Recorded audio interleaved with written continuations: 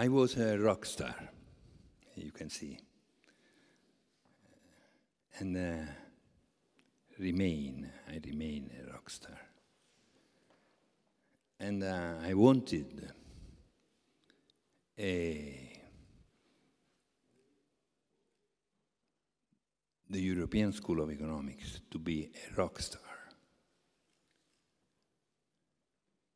and to come out of the sad army of the educational panorama. I wanted that our students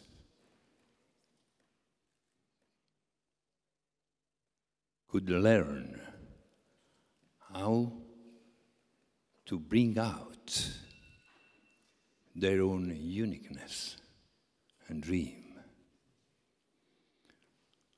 I wanted the school that could uh, eliminate more than add. Wrong ideas, false concepts, second-hand knowledge coming from outside. I wanted the people that could be really revolutionary,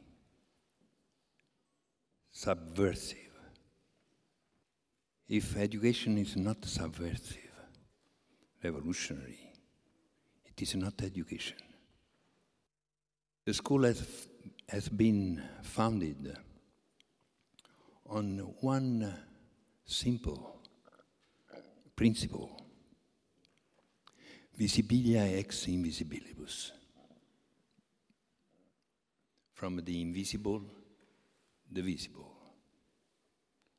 The world that you see and touch is coming from an invisible world, which is you, yourself. No school, no university tells you that you have to come out with your own dream and uniqueness. They just inject in yourself knowledge coming uh, from uh, centuries, centuries of stupidities. Visibilia ex invisibilibus. The world is as you dream it. You yourself are the creator and dreamer and doer of your own reality.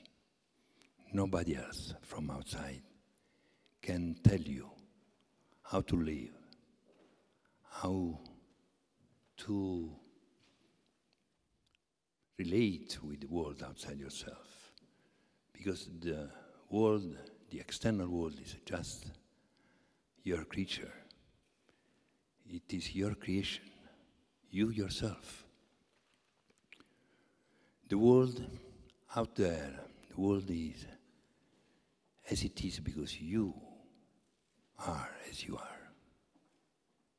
The world is such because you are such. Then you have to turn towards yourself and see that all comes from within. All and everything comes from within.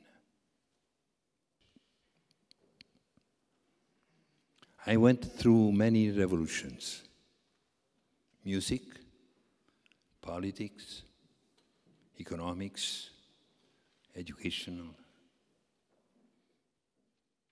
now through technology. I'm really much involved in all those worlds, but never identified. Never identified, because identification is a means to get lost. Then whatever is in the profession that you are going through, or the business that you are going through, remember that identification is the evil. You have to do it without identifying with the world outside. Because the external, the world outside, is just a reflection, a projection of what you are. Whatever happens out there, whatever happens out there, is just reflecting your own being, your inner being. Then you see vision and reality. This is my discovery, my realization, of course. Vision and reality are one and the same. There is no gap. Inner being and the outer life are one and the same. Inner and outer, one and the same thing.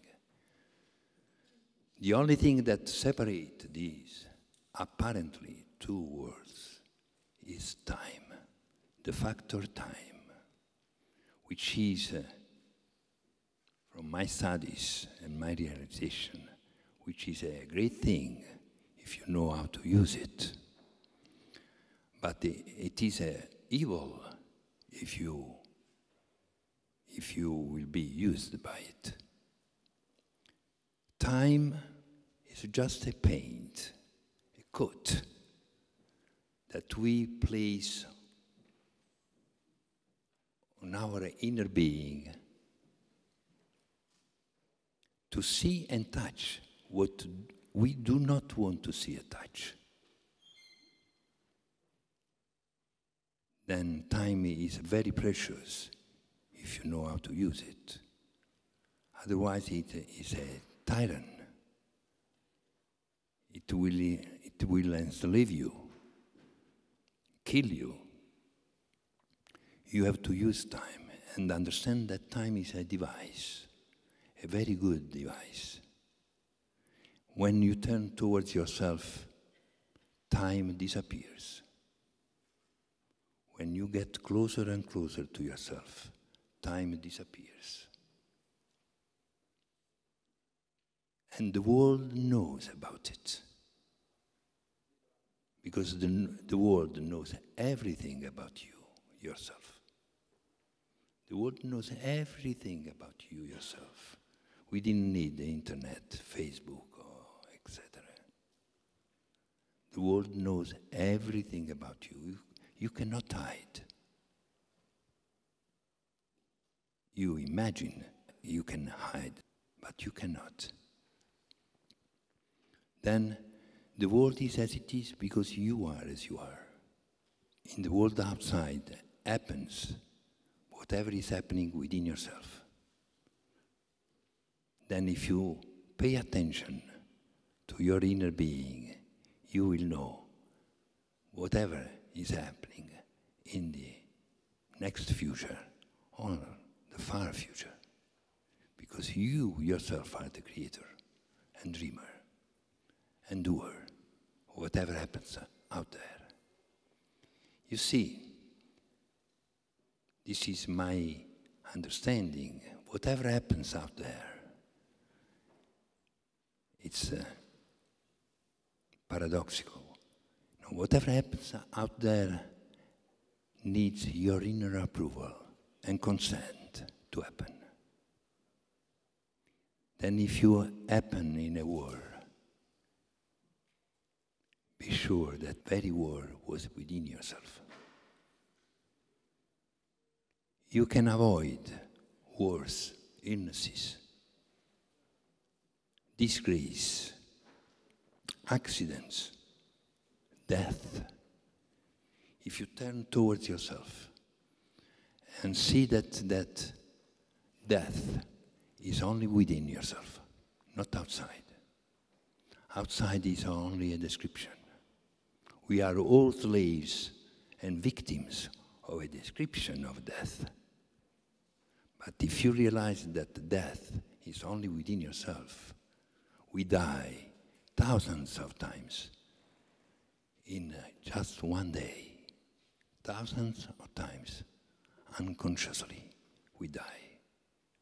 If you know how to die lesser and lesser, you will see that the world outside yourself will become a paradise.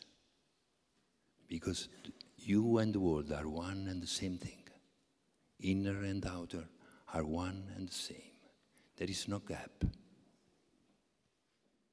Time is a device that tells you why the world is so aggressive, violent, conflictual. But the world is just reading what you are. The world comes after. You come first. Then, if you turn towards yourself and see yourself, you will see why the world is as it is.